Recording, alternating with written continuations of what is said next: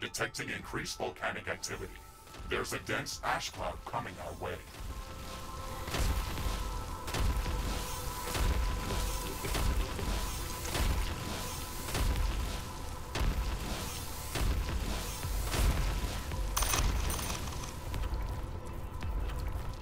The ash cloud is upon us. Visibility is down, and air temperature is up.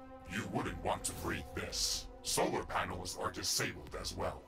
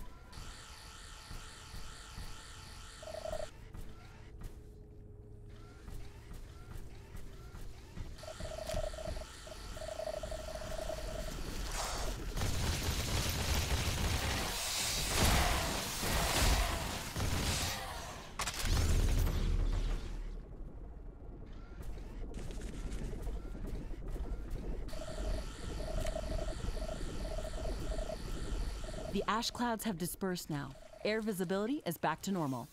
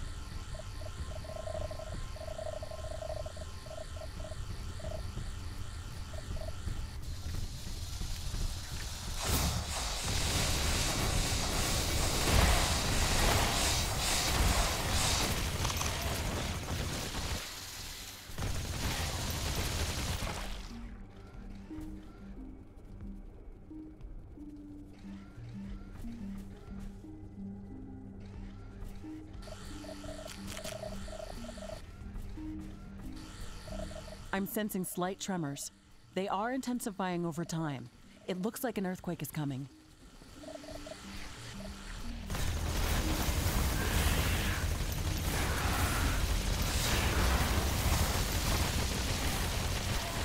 It's an earthquake.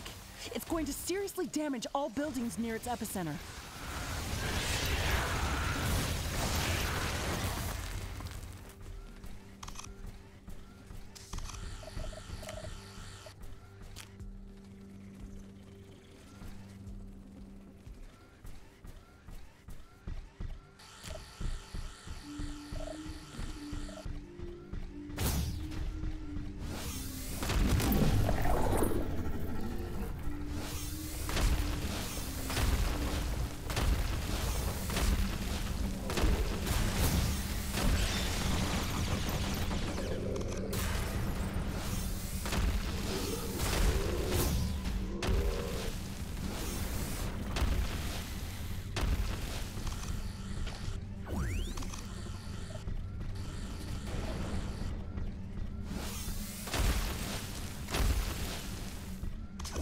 The earthquake is over.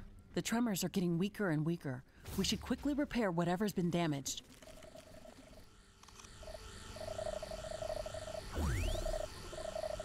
We've gathered enough samples to study these cryoplants in our alien research laboratory. Let's do this as soon as possible. If we can learn to replicate this effect, then we should be able to move freely around this biome.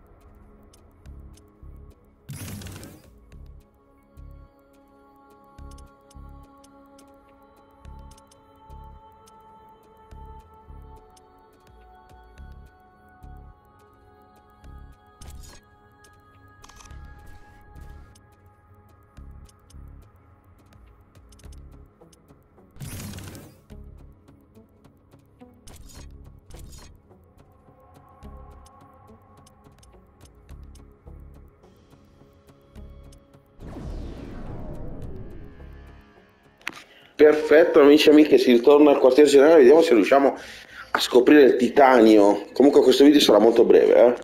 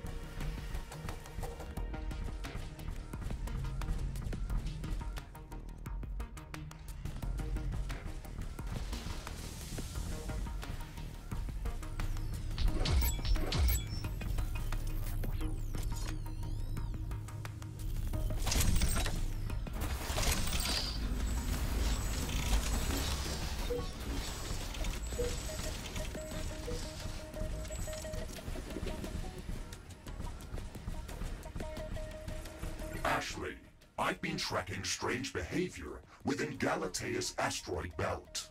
One of the smaller objects that have been orbiting the planet has recently changed its trajectory. What's strange about that? Galatea is a relatively young planet and has lots of moons and smaller rocks in its orbit.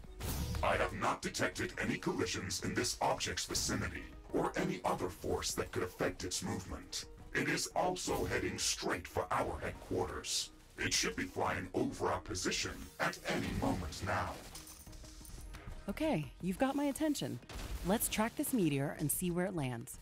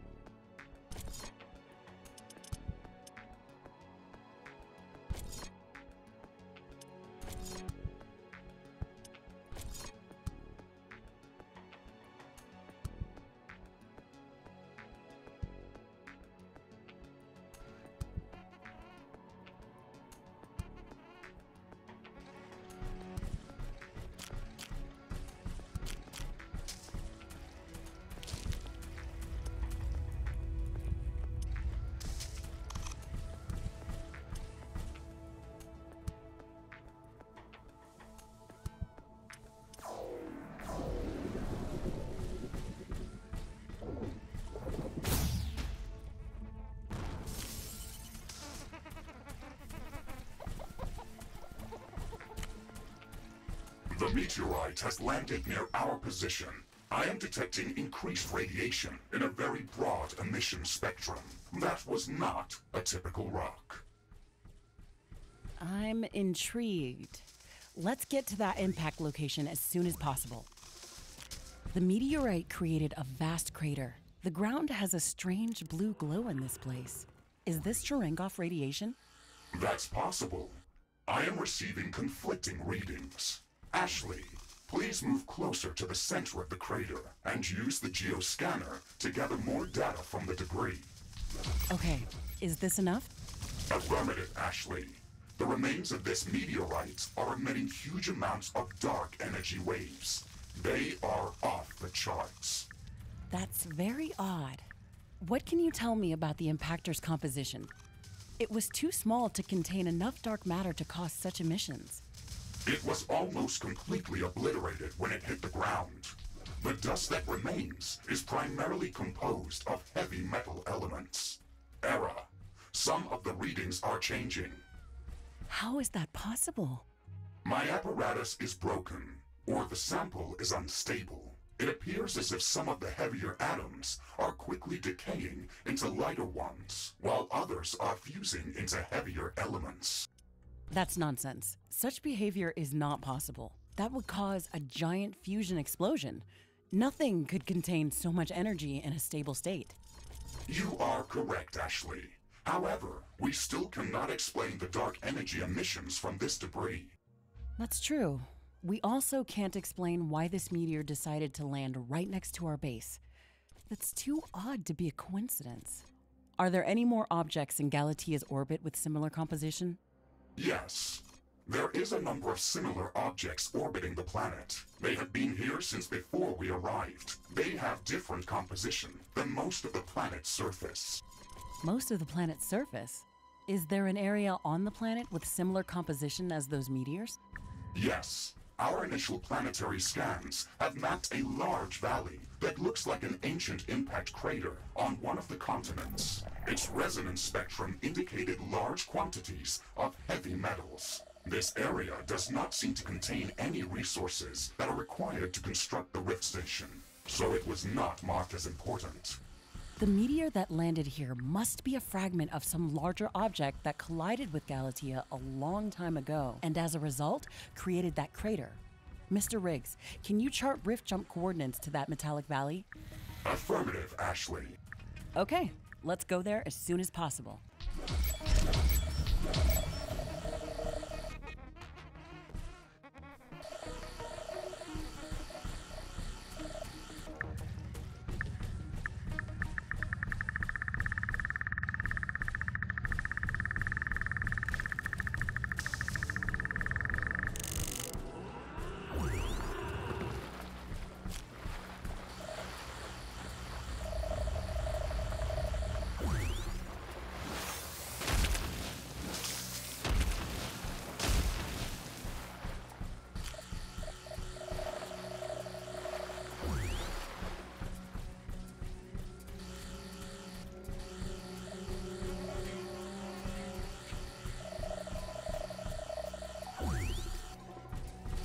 Technology has been developed. New blueprints are available for crafting.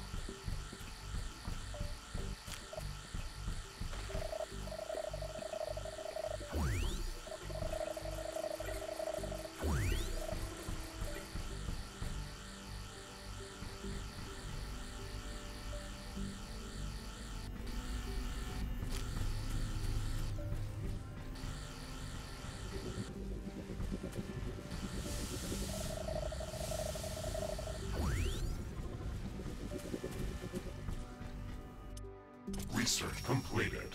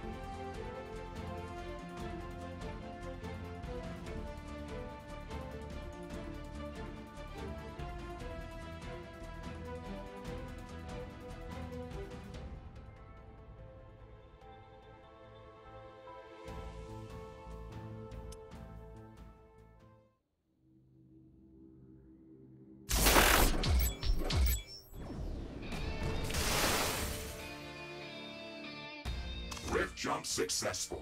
Radiation is above normal, but within safety limits. Amazing. This place looks like a completely different planet. The plants and rocks look like they've been fused with the heavy metals that are so abundant here. I am detecting regular dark energy wave pulses. It is difficult to assess where they originate from. I need some time to gather more readings. Okay, Mr. Riggs. In the meantime, we can walk around and explore the area.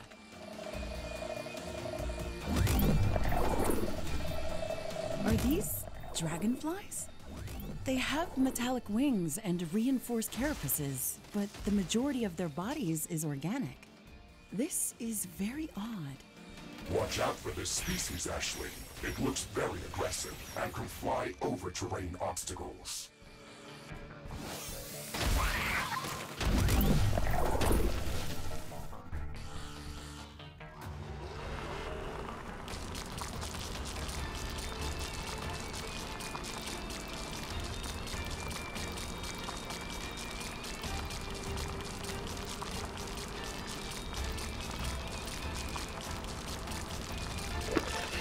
Abbiamo trovato il cobalto. Cobalto, sapete che serve sempre tantissimo per fare le torrette al 3 e tutto. Io non so quanto di massimale. Però non ce l'abbiamo sull'estrazione del cobalto.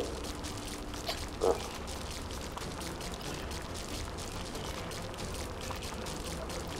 Devo stare qua mezz'ora tirando fuori.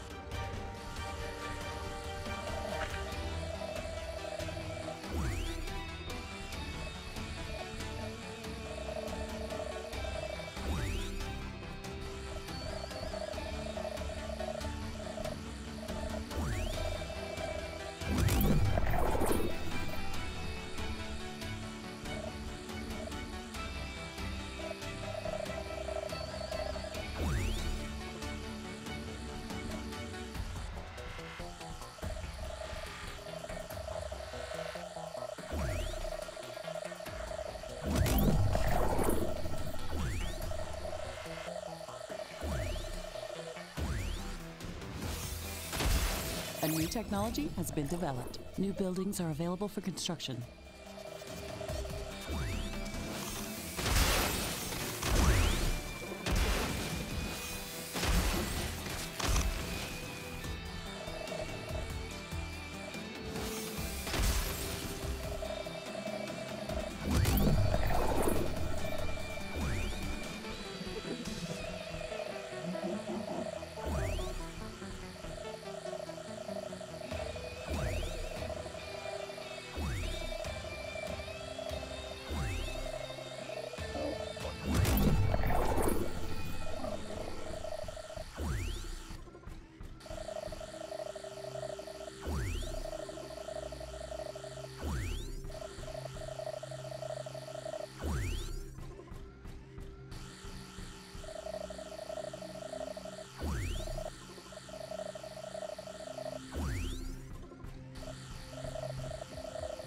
Finished analyzing the dark energy wave patterns. There are at least a few strong emitters within this area. I have marked the location of the strongest one on your map. We should go there first. Okay. This valley looks alien on an alien planet. Let's see what we can find here.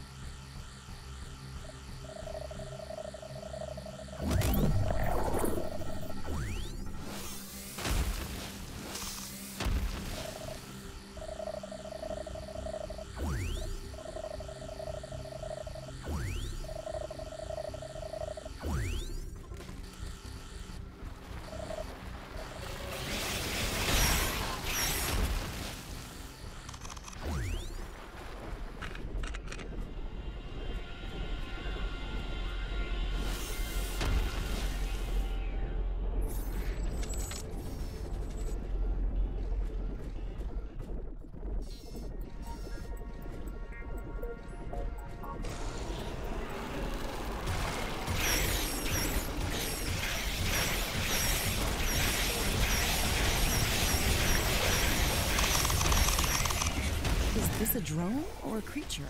It doesn't look natural.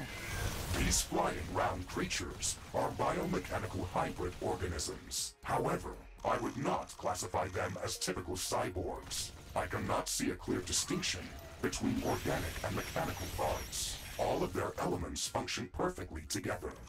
They either evolved this way or they've been bioengineered.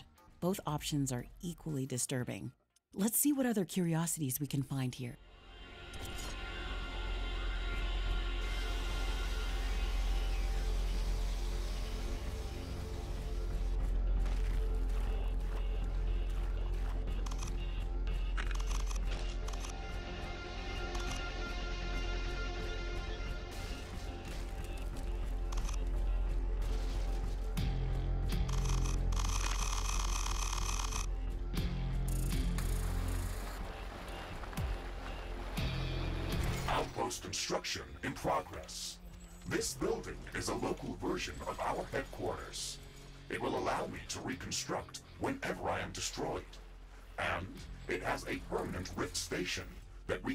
Jump to at any time.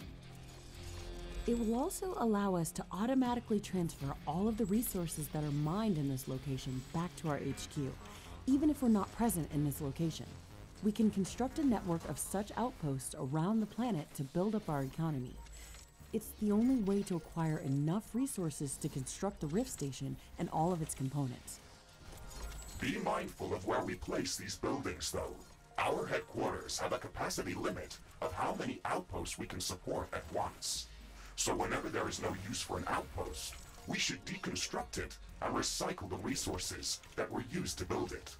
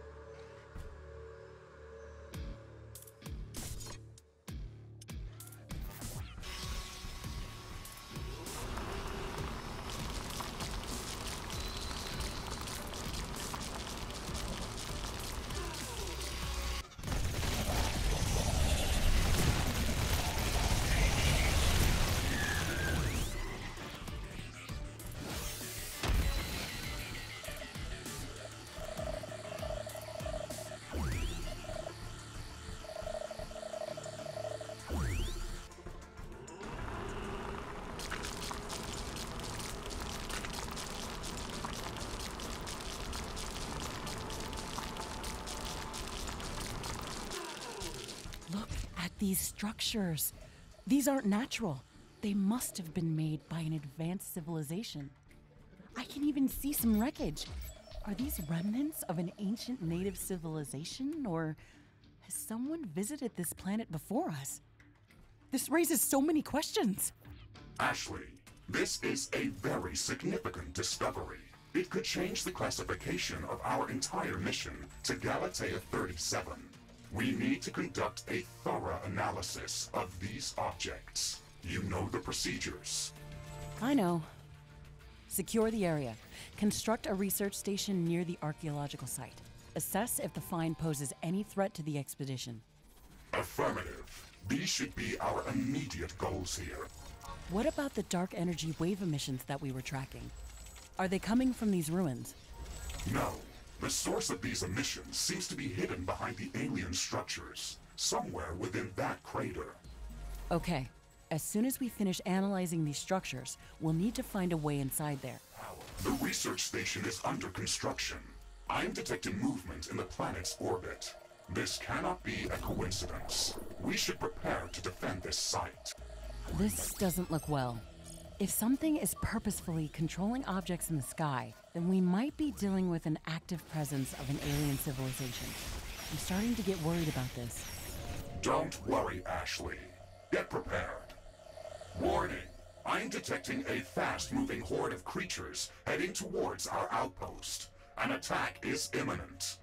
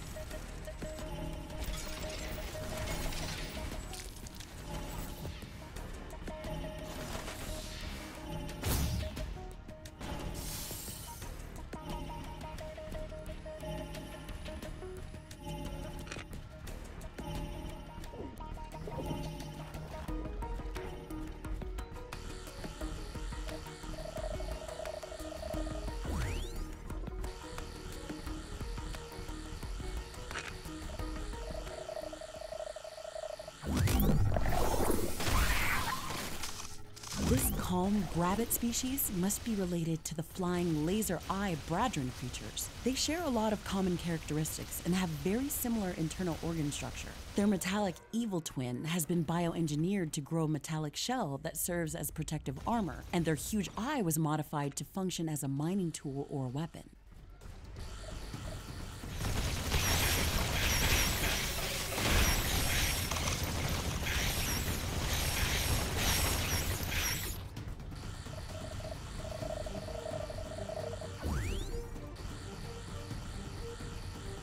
Base is under attack.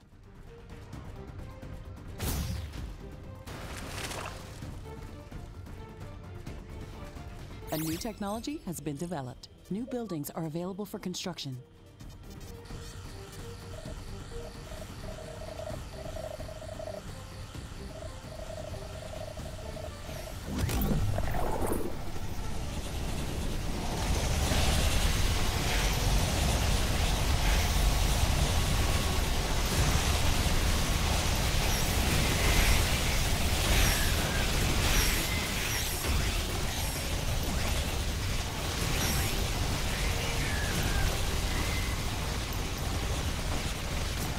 Under attack.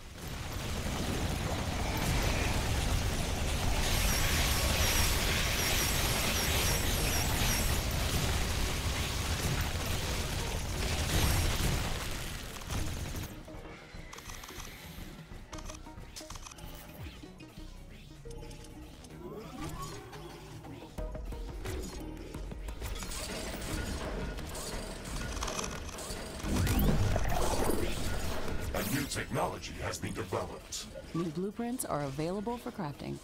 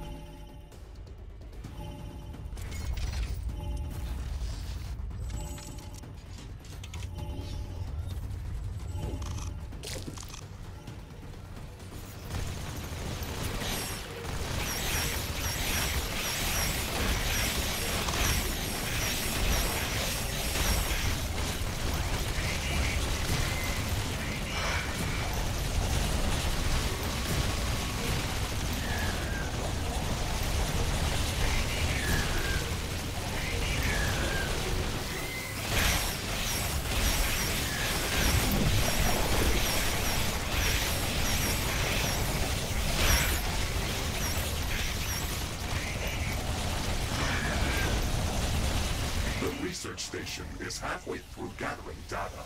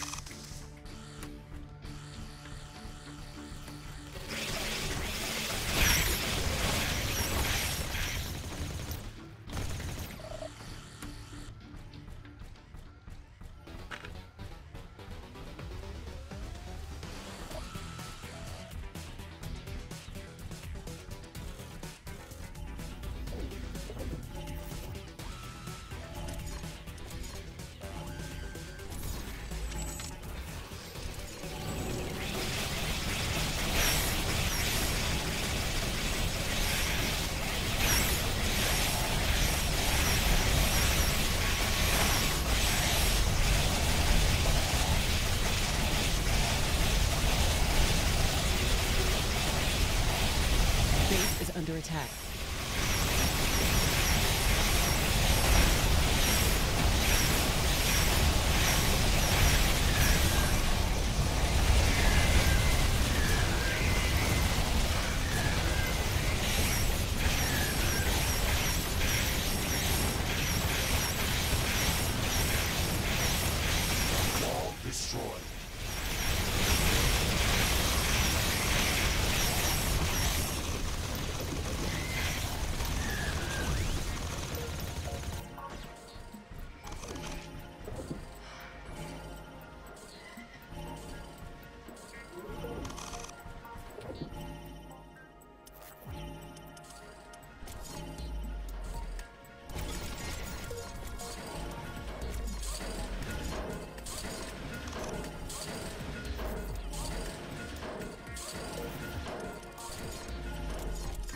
Research station has finished analyzing the alien artifacts. These structures were indeed created by an advanced civilization. They are old, but they're too young to be of native origin. They're composed of very dense, heavy element alloys. The wreckage in front of the tall alien pillars appears to be some kind of a pump or a refinery. It has visible intake valves, and we found traces of morphium inside it. This liquid behaves in a similar way to the meteorite debris that we analyzed near our HQ. It is a mixture of heavy element atoms that rapidly change state and morph interchangeably into lighter or heavier elements. How is this liquid stable? Why doesn't it explode? We've never seen anything like this. Our sensors cannot explain these phenomena. However, we are detecting dark energy wave emissions from this liquid. Dark matter and dark energy are just vague terms that we use to describe unknown forms of both. That means that there's something more inside or around the liquid that we cannot see or interact with. That's probably the thing that drives and stabilizes these morphing reactions. I propose we call this substance morphium. A fitting name. It looks like there is a pool of morphium nearby. Maybe this wreckage was initially connected to it. That would make sense.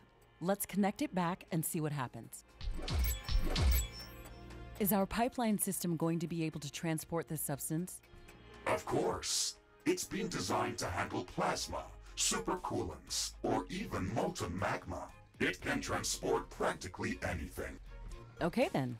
Let's place a pipe in this pool of morphium and connect it to the alien structure near our research station. Technology has been developed. New blueprints are available for crafting.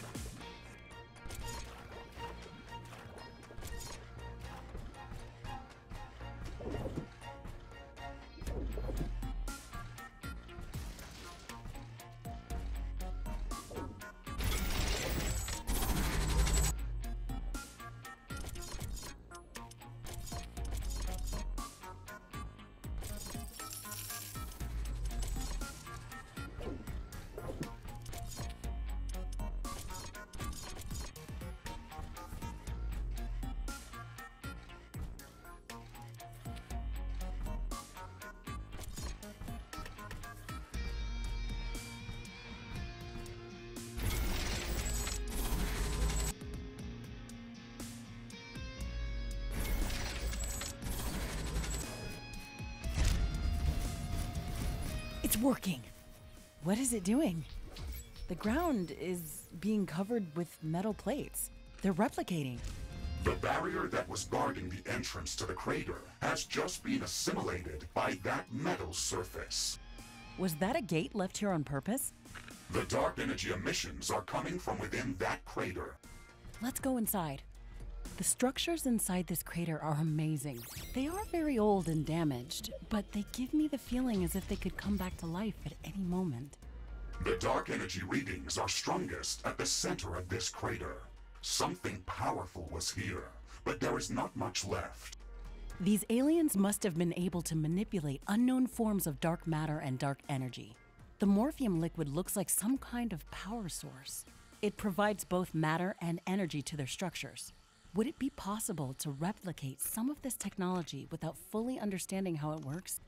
Yes. The research station scanned the alien structure thoroughly, and our printer drones can replicate it with minor modifications.